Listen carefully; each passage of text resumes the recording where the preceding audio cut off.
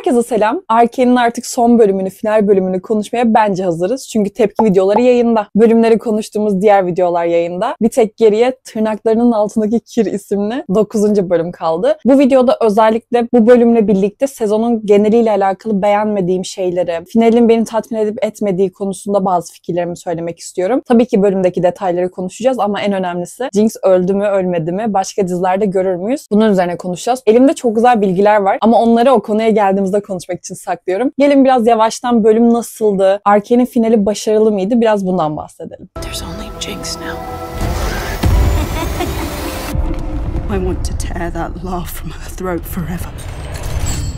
Konuşacak o kadar çok şey var ki. Çünkü bu bölümle birlikte artık sezon boyunca dizilen o savaşın sonucuna geliyoruz. Piltover ve Zaun ittifak oluşturmuş. Victor ve Noxus ordusunu durdurmaya çalışıyorlar. Bölüm yine teknik açıdan çok başarılıydı. Zaten bu dizinin animasyon kalitesini, teknik açıdan başarılarını öve öve bitiremeyiz bence. Özellikle savaş sahneleri inanılmazdı. Bu kadar güzel ve başarılı bir şey izliyor olmak insanı çok tatmin ediyor. Özellikle de takip ettiğiniz, içinde bulunduğunuz bir evren olduğunda. Final beni tatmin etti mi? Hem etti hem etmedi. Çünkü havada kalan çok şey olduğunu düşünüyorum. Örneğin son sahnede bir konsey gördük ve o konseyde Sevika'nın oturduğunu da gördük. Belli ki artık Zaun'la Piltover oturmuş ve e, bu savaş sonrası zaten hazır birlik olmuşlarken iki tarafı da politik anlamda da birleştirmeye çalışıyorlar. Bir barış sağlamaya çalışıyorlar. Ben açıkçası bu kısımları daha çok görmek isterdim. Zaten sezonun başında da eğer daha önce herhangi bir videomu izlediyseniz Arkane konusunda bunu dile getiriyorum ama ben sezon başında da o çıkan isyanları, Zaun'la Piltover arasındaki savaşları görmek isterdim. Bu bölümde keza yine barış tırnak içerisinde e, sağlandığında o konsey Sevika'nın gelmesi yani belli ki Zaun'dan insanların, Zaun'daki liderlerin o koltuğa oturmasını ve adeta bir meclis misali iki tarafında barış içerisinde işlerini halletmeye çalışmasını istiyorlar. Ben bu kısımları gerçekten çok görmek isterdim. Yani savaş sahneleri muazzam. Ana karakterlerimizin o oyundaki skillleri kullanışı, onu yapışı, bunu yapışı çok güzel. İzlediğimiz şey çok güzel. Ama biraz arka planı da insan görmek istiyor. Çünkü siz iki sezon boyunca bu iki tarafın bir türlü birlikte olamayışını, Zaun'daki insanların resmen alt tabaka insan gibi yaşamasını, orada Shimmer ismi verilen, ışıltı ismi verilen bir illetle uğraşmasını ve Piltover'ın bu konuda hiçbir şey yapmamasından dolayı Zaun'daki insanların hali hazırda Piltover'dakilere zaten iyi bir hayat yaşamalarından dolayı kızgınlarken bir de bu konuda hiçbir şey yapmamalarından dolayı iyice düşman haline gelmelerini, üstelik bu düşmanlığın belirli liderlerin ortaya çıkmasıyla iyice kızıştığını görmüştük. Bu sezonda Silikon'un ölmesiyle daha kontrolsüz hale gelen Zaun'un o isyanlarını görmek ben çok isterim. Çünkü Jinx belli bir süre asla ortaya çıkmıyor ve Isha ile takılıyorlardı. Bu sezon genelinde bence hikayesi en iyi anlatılan karakterlerden biri. Daha doğrusu ilişki diyelim buna. Jinx ile Isha'nın ilişkisiydi. Gerçekten yeni karakter sokup bu kadar kısıtlı bir zamanda karakteri güzelce işleyip Jinx'in hayatındaki önemini bize anlatıp Jinx'in karakter gelişimini bu karakterle birlikte, Isha ile birlikte bizlere izletmeleri çok güzel yazılmış bir karakter ve karakter ilişkilerin özetiydi kesinlikle. Muazzamdı. Ama bir de şöyle bir durum var. Isha'nın biz Jinx için ne kadar önemli olduğunu biliyoruz. İşte Jinx kendi eski halini, Powder'ı görüyor biraz Isha'da ve bunun üzerinden bir ilişki kurdular zaten abla kardeş ilişkisi gibi. Isha öldü. Bayağı kendini feda etti. Biz Jinx üzerinde bunun etkisini hiç görmedik. Evet çok şey oluyor. Bir savaş var. Ablasını tekrardan geri kazanmış gibi oldu. Öldüğü sandığı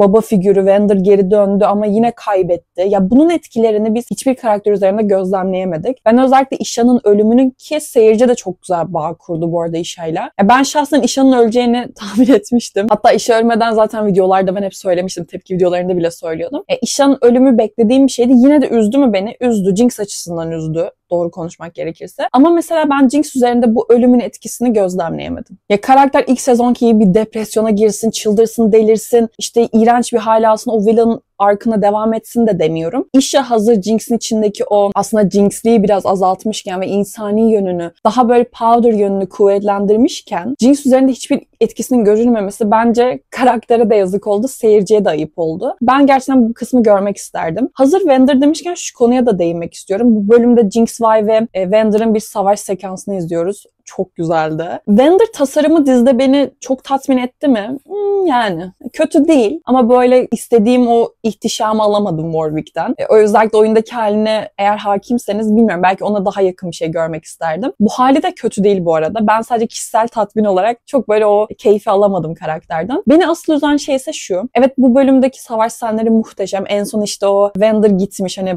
artık babamız yok dedi Jinx Vay'a ama Vay hala Wander'ı kurtarmaya çalışıyordu bir şekilde. Zaten sonucunda da Jinx'in Vay'ı kurtarmak için bir nevi kendini feda ettiğini gördük. Ama benim problemim şurada. Sonuçta biz Warwin yani Wander'ın özellikle ikinci kısımda yani 4, 5, 6. bölümlerde konuşmasına şahit olduk. İşte az da olsa bir iletişim kuruyordu. İşte Powder dedi, 6. bölümde kızıma dokunma gibi bir cümle kullandı. Böyle kısa kısa konuşmaları var. Ben şunu görmek isterdim. Yani sizin ölü sandığınız babanız bir şekilde ortaya çıkmış bir kurt formunda. Yani bu adam hafif de konuşuyor olsa bir iletişim kurmaya çalışmadınız mı? Yani ne oldu? Şey Jinx şey mi dedi? Bir tane Jesus gibi bir figür varmış. insanları iyileştiriyormuş. Gel Wender oraya götürelim. Vay da tamam dedi ve Wender hiç konuşmadım yani. Ya da siz bu adama şey sormadınız mı? Tamam hayvansız bir şey olmuşsun ama nereden geldin? Hani sana bunu kim yaptı? Nasıl hayatta kaldın? Biz senin öldüğünü gördük çünkü. Hani bunun sorgulanması asla yapılmıyor. Bu konuşmalara hiç şahit olmadık. Düşünsenize öldüğünü sandığınız babanız ya da baba figürünüz ya da hayatınızda baba yerine koyduğunuz ya da baba da olmasına gerekiyor. Anne, baba, kardeş çok değer verdiğiniz birinin öldüğüne şahit oluyorsunuz. Sonra o kişi geri geliyor farklı bir formda. Ve az buçuk da olsa bir konuşma yetisi var. İlla ki iletişim kurmaya çalışırsınız. Yani sadece sarılarak ha hadi hadi şimdi gidelim e, şeye Victor'un yanına, Jesus'ın yanına demezsiniz. Orada bir konuşma illaki geçer. Ben bu iletişimi de görmek isterdim biraz. O kısımların hızlı hızlı atlar. Zaten bu sezonun bilmiyorum bölüm kısıtlaması, zaman kısıtlaması mı artık tam olarak kestiremiyorum. İki sezonda bitirme fikri çok büyük bir adım. Bu kararı vermek gerçekten büyük cesaret. Hele ki diziniz çok başarılı olmuşken. Yani bunun evet bir hayran tarafı var ama unutmayın bu aynı zamanda para kazandıkları bir iş. Ve bundan çok para kazandılar. Bu dizi inanılmaz izlendi. Sadece LoL kitlesinden değil, genel izleyiciden de çok iyi puanlar aldılar ve bir genel izleyici kitlesi de oluşturdular. Şu anda oyun hakkında hiçbir fikri olmayan, hiçbir şekilde League of Legends oynamayan, hiçbir şekilde Riot Games alakası olmayan insanlar bile şu anda Arkane'i takip ediyor ve muhtemelen bundan sonra gelecek dizileri de takip edecekler. Zaten çok büyük bir oyun kitlen varken böyle bir kitleyi ayrıca yakalamak büyük başarı. Bunun hem Netflix tarafından karı var hem Riot Games tarafından karı var. Bu arada şeyi çok destekliyorum. Hani evren çok büyük, anlatılacak çok hikaye var. Filter ve Zone daha küçük bir hikayeyi temsil ediyor. Buna da okeyim ama bence bu dizi ya bir sezon daha fazla olmalıymış ya da her kısma birer bölüm eklenmeliymiş. Yani toplamda 12 bölümle bu sezonu bitirebilirmişiz. En azından bazı hızlı işlenen kısımları gösterebilirlermiş. Bu zaman konusunda sinirli olduğum şeylerden biri de aslında bu bölümün başında gördüğümüz Jinx ve Echo sahneleri. Hatta göremediğimiz Jinx ve Echo sahneleri. Çünkü geçtiğimiz bölümün sonunda döngüyü kırmak için ablasını hapishanede terk ettikten sonra Jinx'i bu bölümde saçlarını kesmiş ve kendini patlatmaya hazır halde gördük. Bu bölümde Jinx'in kendini öldürmeye yaklaştığı iki sahnede de çalan tek bir şarkı var Wasteland diye.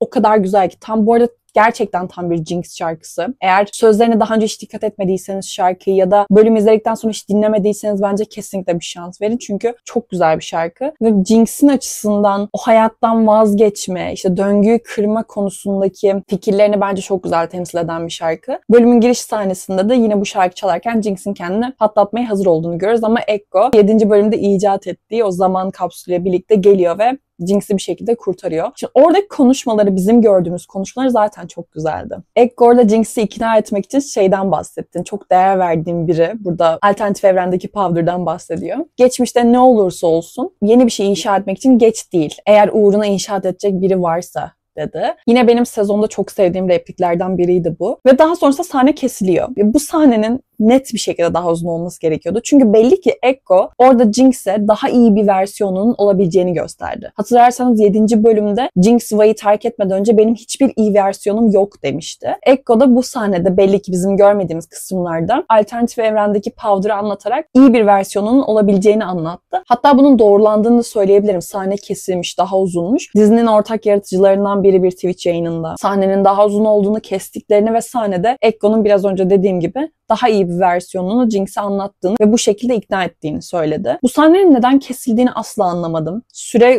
probleminden dolayı mı artık bilmiyorum. Ya da mesela şeyi merak ediyorum. Hangi sahneyi koymak için buradan feda ettiniz? Daha mı önemliydi? Ya da bir, bir iki dakika daha uzun olamıyor muydu bölüm mesela? Kesinlikle olması gereken bir sahne. Yedinci bölümde o kadar güzel işlediler ki Echo ile Powler'ın hikayesini, o aşk hikayesini. Ve bence seyirciden iyi bir dönüt alacaklarını henüz yaparken bile tahmin etmeleri gerekiyordu. Çünkü ilk sezonda aralarında adam akıllı bir şey görmememize rağmen hatta o ilk sezon 7. bölümde köprüde dövüşmeleri neredeyse birbirlerini öldürecek hale gelmelerine rağmen insanlar Ekko ve Jinx'i zaten shipliyordu. Bir de ben Ekko çok oynamıyorum ama Ekko'nun oyunda bir sözü var. İşte Jinx'e ona crush olduğunu, ondan hoşlandığını söylüyor. Ama bu zamana kadar Jinx'in hiç ona karşılık verdiği bir replik yoktu oyunda. Ta ki geçen gün yeni Jinx kostümü gelene kadar. Jinx'in yeni kostümüyle birlikte replikler eklendi ve o repliklerden birinde artık Ekko'nun o senden hoşlanıyorum şeyine karşılık veriyor. Şu anda ekrana koymuşumdur daha detaylı. Eğer bakmak isterseniz durdurup bakabilirsiniz. Ya bunlar çok güzel detaylar. Zaten Riot'un detay konusunda ben çok kötü olduğunu düşünmüyorum. Dizi bu haliyle bile eleştirdiğim şeylerle bile kötü değil. Sadece daha iyi olabilecekken ki bunları yapma şansları varken neden bunun tercih edildiğini asla anlamıyorum. Ben bu videoyu çekmeden önce 9. bölümü izledim. Sonra bir de döndüm ilk sezondan birkaç sahne izliyordum. Şansıma bir sahne denk geldi. O sahnede de Jace bu Hextey'i Victor'la birlikte icat ettikten sonra konseyi Zaunlularla paylaşmak ve onlara daha iyi bir hayat sunmak için kullanabilmek adına ikna etmeye çalışıyordu. Heimerdinger'ın zaten bu konuda böyle hani daha uzun yıllar gerekiyor. Hextey'in daha iyi çalışabilmesi ve insanlara sunabilmemiz için diye sürekli uyarılarda bulunduğunu hatırlarsınız belki. O sahnede de tam böyle itiraz edecekken Jace diyor ki hani sizin fikirleriniz çok önemli buna onay vermelisiniz çünkü siz Piltover'ın babası gibisiniz diyor. Şimdi bunu neden söylüyorum? Çünkü bu sezon evet biz Heimerdinger'ın seyirci olarak yok olduğunu gördük. Ölmedi. Eğer 7. bölümle ilgili videomu izlediyseniz orada açıklıyorum her şeyi. Ama Heimerdinger tam olarak ölmedi. Öldü ama ölmedi. Bu adam yok olmuşken neden kimse bu adamın nerede olduğunu sorgulamıyor? Bir de hatırlarsanız şöyle bir bilgi de var. İlk sezonda konsey patladığı sırada Heimerdinger orada değil. Yani adam o andan itibaren kayıp aslında bizim karakterler için. Bir tek Jace gördü sonradan. Niye kimse Heimerdinger'ın nerede olduğunu sorgulamıyor? Eğer bu adam Piltover'ın babası gibi ise Piltover'daki diğer insanların bu adamın nerede olduğunu sorgulaması lazım. Çünkü konsey odasında patlama anında olmadığını biliyorlar. Bu adamın ölmediği, orada ölmediği en azından açık. Ben Heimerdinger için adalet rica ediyorum. Adam küçük müçük diye, Yordle diye yaşadığı ırkçılığı ben kabul edemiyorum. Gelelim bölüme. Bölümde Jason, Vay'i, Mel'i işte Caitlyn'i topladığı bir sahne var ve orada durumu açıklıyor. Diyor ki bana zaman kazandırmanız lazım ki ben Hex geçitleri kapatayım. Bu sahnede Caitlyn Bunların hepsinin ortasında merkezinde Victor var değil mi diyor. Ve Jason çok kısa bir an 6. bölümde Victor'ı öldürmedi. Öldürmek doğru olmaz bence. Vurmadan önce Victor'un yüzünü hatırlıyor. Şimdi burada çok bence güzel bir detay var. Zaten Jason Victor'a ne kadar değer verdiğini gördük. Yani sürekli partnerim de partnerim, partnerim de partnerim diye ortada geziyor. Ve Victor'u hatırladığı sırada o karşılaşma anlarında 6. bölümde sanki Victor gülümsüyormuş gibi hatırlıyor. Bu sahne direkt koyulmuş. Biz o flashback'e gittiğimizde Victor sanki böyle küçük bir gülümsüyormuş gibi. Şu an yine ekrana koymuşumdur. Niye sürekli açıklamaya çalışıyorum bilmiyorum.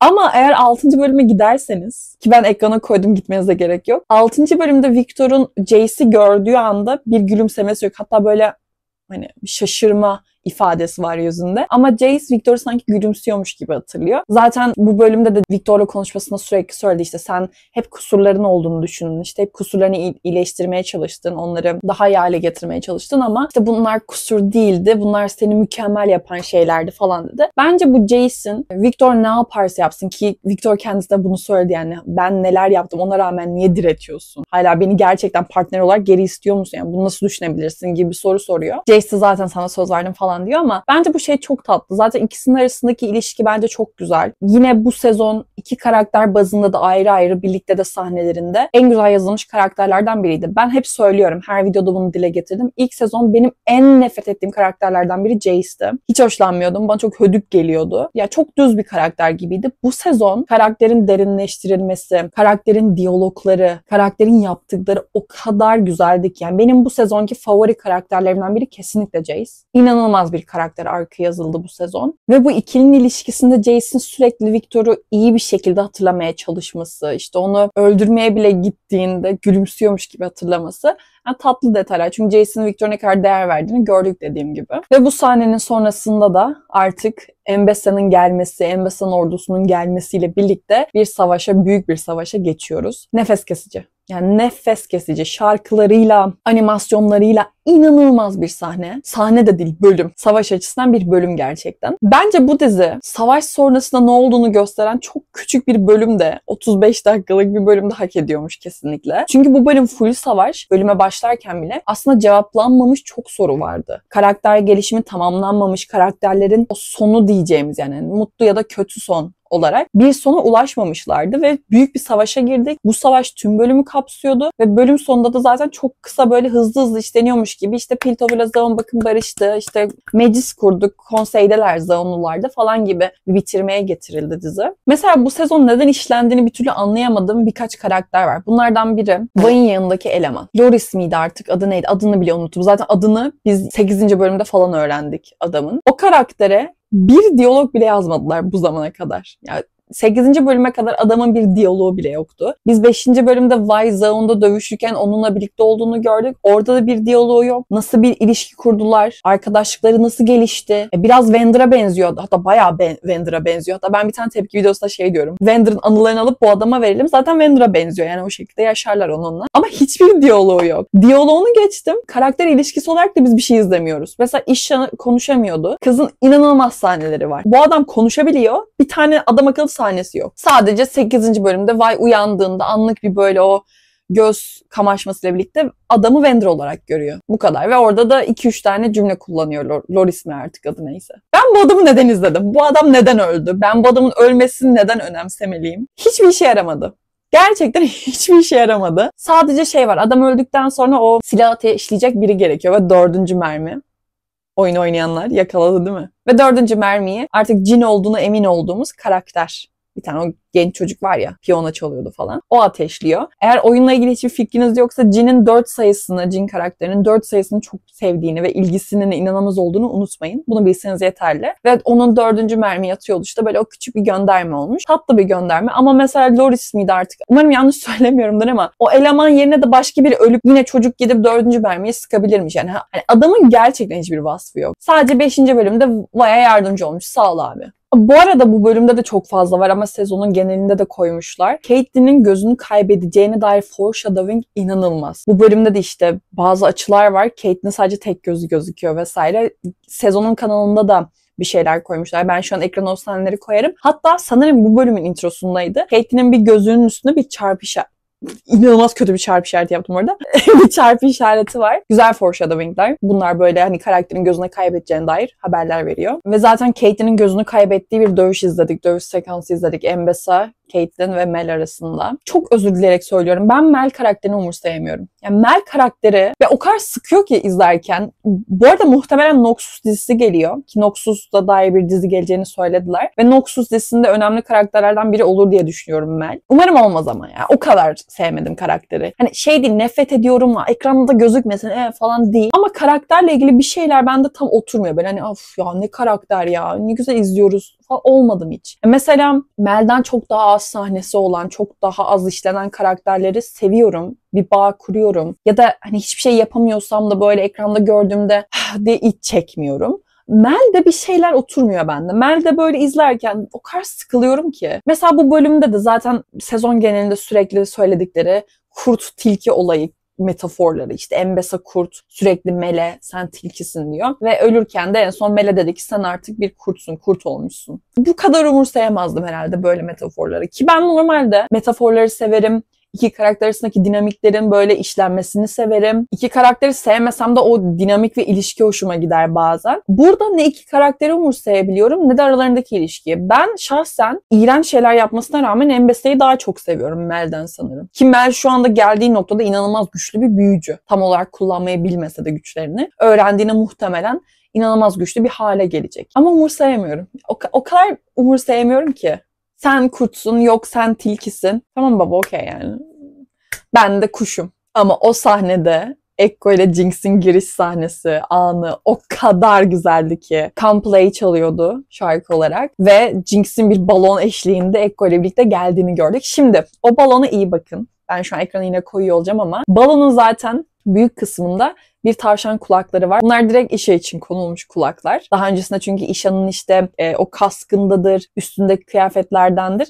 E, bazı itemleri Jinx buraya yerleştirmiş. Örneğin yine X kare işaretlerinin olduğu böyle yuvarlaklar var. Onlar da İşan'ın yine kostümlerinden gelme. Böyle işeyi onurlandırmak için bir şeyler yapmış. Çok tatlı. Bayağı güzel olmuş. Ama mesela bu kadar değer veriyorsa bu kız işe öldüğünde ne yaptı? Ne yaptı yani bu kız niye göstermiyorsunuz?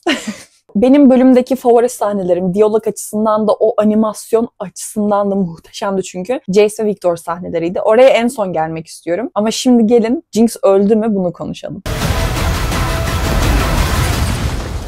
Then stop me. Ben ilk izlediğimde yakalayamamıştım. Jinx'in öldüğünü o kadar üzüldüm ki. O an öldüğünü düşündüm çünkü. Zaten çok saliselik bir sahne var. Eğer sahneyi yavaşlatırsanız böyle o hex geçitlerinin olduğu yerde bir tane borudan mor bir ışık geçiyor ki Jinx'in daha öncesinde bir mor ışık, ışık süzmesi gibi böyle anlık flash attığını görmüştük sezon içerisinde. Burada da yine Jinx'in bu borulardan geçtiğini görüyoruz bir nevi. Zaten hemen sonrasındaki sahnede de Kate'in elinde o Jinx'in maymununun kafasını tutuyor ve o hex geçitinin olduğu yerden kaçılabilecek borulara bakıyor. Ve sonrasında da bir Zeppelin görüyoruz deniz üzerinde başka bir diyara artık gidiyor. Ve Jinx'in de onun içerisinde olduğu düşünülüyor. Şimdi Jinx'in ölmediğini doğrulayan başka bir kanıt sunacağım size. Geçtiğimiz günlerde bu Arkane'in her kısmından sonra Vayne ve Jinx'in seslendirmeni Hayley ile Ella'nın içinde oldu ve yaratıcıların da ara ara katıldığı bir after show videoları yayınlıyorlar. Böyle 15-20 dakika arasında değişen video süreleri var. Üçüncü kısımla ilgili iki video yayınladılar. Bunlardan birinde soru cevaplıyorlar ve sorulardan biri de Jinx öldü mü? Bu soru geldiğinde Jinx'in seslendirmeni zaten böyle elinde kart. Ben yine şu an ekrana koyuyorumdur ama kartla bir etrafa bakıyor. Sonrasında da diyorlar ki bilmiyoruz. Bu arada dizinin yaratıcılarından ikisi de orada. Diyorlar ki bilmiyoruz. Bunu internette insanların tartışması için bırakacağız. Yani net bir hayır cevabı verilmedi. Mesela aynı soru ve Victor için de soruluyor. Yaratıcılardan biri diyor ki hani insanlar oyun kanonunda, oyunda şu anda ölmedikleri için dizide bizim ana karakterleri öldüremeyeceğimizi düşünüyorlardı ama öldüler diyor. Hani bir şekilde bu yarattıkları Hextey'in bunun getirdiği sonuçlara birlikte katlanmaya karar verdiler ve bum yok oldular açıklaması yapılıyor. Ama Jinx konusunda böyle tam net bir hayır cevabının verilmemesi hatta karakter yaşıyormuşçasına konuşulması net bir şekilde Jinx'in ölmediğini kanıtlıyor. Jinx'i ilerleyen projelerde görür müyüz? Neden olmasın? Çünkü Jinx şu anda nereye gitti bilmiyoruz. Herkes şey diyor işte Demacia'da kankası Lux var ona gitmiş olabilir. Bir Demacia dizisinin az çok geleceği açıklandı. Çünkü dizinin ortak yaratıcılarından Christian Link şey demişti. Ionia, Demacia ve Noxus bu bölgeleri dizi ve oyunlarla geliştirmek ve insanlara göstermek istiyoruz bu bölgeleri. O yüzden neden olmasın? Jinx'i farklı yerlerde de görebiliriz. Ben karakteri tamamıyla veda ettiğimizi düşünmüyorum. Başrol olur mu diğer yapımlarda? Hayır. Ben öyle bir şey olacağını düşünmüyorum pek. Ama ben yine de Jinx'in bir şekilde karşımıza çıkacağını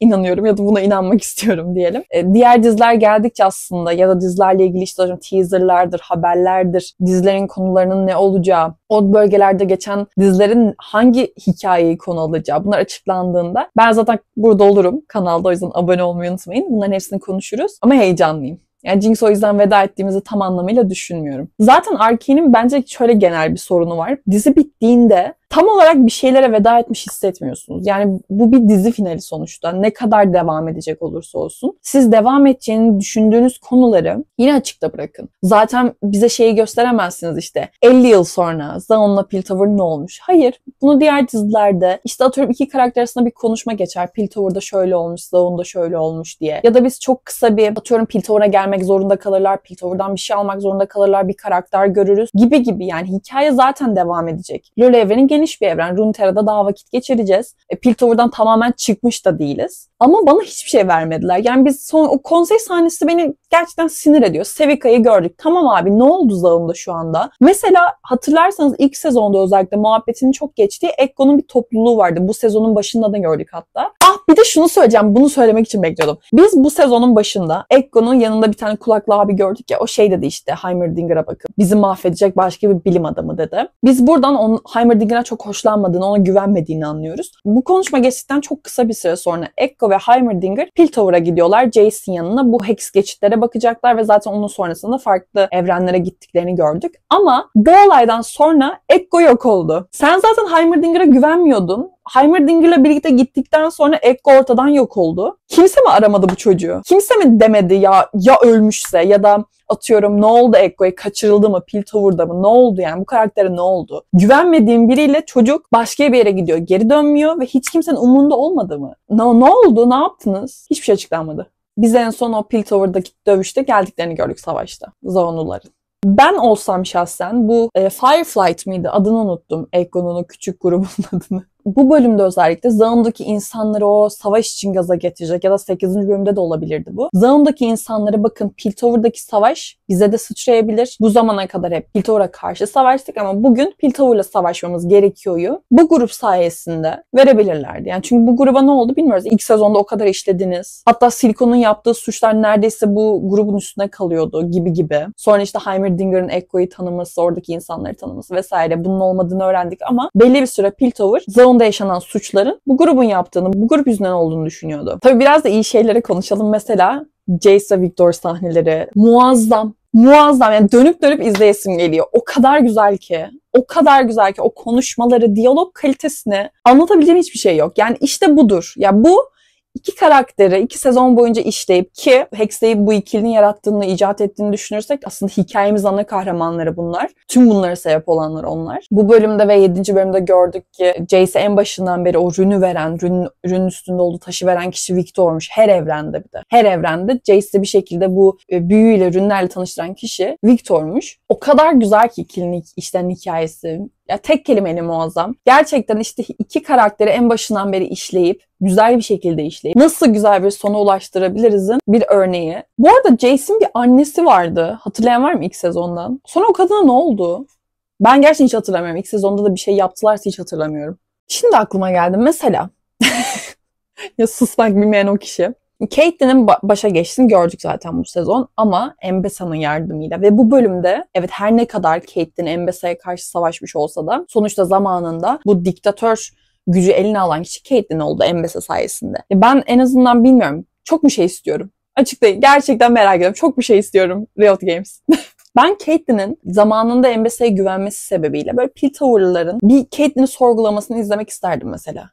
Caitlyn'in kararlarını, şu an tekrardan başa geçmeli mi? Ya da konseyde olmalı mı? Mesela bunların sorgulanması yapılabilir. Bu arada kesinlikle olmalı Kate'in bence bana kalırsa. Ama insan doğasından bahsediyoruz. Yani burada insanlar sorgular, insanların duyguları vardır, duyguları düşüncelerini etkiler. Bazen mantıklı hareket etmek istemeyebilirler. Bazen duygusal anlamda güvendikleri kişiye mantık açısından bakıldığında güvenmedikleri için bazı hareketler, reaksiyonlar verirler. Ya da mesela Zaunluların hepsi mi okey oldu Piltover'la birleşmeye ve o konseyde birilerinin onları temsil etmesine? Zaun'dan bahsediyoruz. Yani bu insanlar evet masumlar da var. Evet boşa yere acı çekenler de var var. Burada kimse bence acı çekmemeli ama Zaun'daki o gelişen doğa sebebiyle artık oradaki insanların işte alt tabakadaki insanların çektikleri acılar sebebiyle bazılarının kava kuvvetle ya da elindeki ufak güçle daha çok baskı kurmasından kaynaklı daha böyle kötü niyetli insanlar da var. Mesela Sinjit bu insanların tamamı mı okey oldu ya da bunu nasıl kontrol altına aldılar? Ben bunu görmek isterdim mesela. Yeri geldikçe zaten bölümlerle ilgili her şeyi neredeyse kendi videolarında övdüm. E, bu bölümde genel olarak savaş sahneleri çok güzeldi. Diyalog olarak bence yine kötü bir bölüm değildi. Bu arada küçük bekleme de yapmak istiyorum. Caitlyn ve Vay'in sorunu sezon boyunca hiçbir zaman hatta iki sezon boyunca hiçbir zaman bu ikilinin aynı ortamda bulunamıyor oluşu değildi ya da yakınlaşamıyor oluşları değildi. Bu ikilinin problemi her zaman Piltor ve Zaun arasındaki savaş ve tabii ki de Jinx'ti. Fakat bu sezon özellikle son kısmına geldiğimizde ne bu problemlerin konuşulduğunu ya da Jinx'in artık aralarındaki bir problem olmayışıyla birlikte nasıl ilişkilerini yoluna koyacaklarını asla görmedik. Sonunda birlikte oldular. Evet çok mutluyum bu ikilinin birlikte olmasını en çok isteyen kişilerden biri bendim. Ama hala sanki o konuşulma yapılmamış ve o problemler çözülmemiş gibi geliyor. Sezonun başında hayatımdaki herkes değişti lütfen sen de değişme diyen Vaya ihanet edip üstüne bir de kızı aldatıp ya aldatmak ne kadar doğru bilmiyorum ama başka birinin hayatına alıp sonrasında bir öpüşmeyle bir sevişmeyle tekrardan bir araya gelmiş olmaları bölümün sonunda ya bilmiyorum bana çok geçen bir cümle değildi. İşte tırnaklarındaki kirim, tırnakların altındaki kirim yani okey ellerini yıka o zaman pislik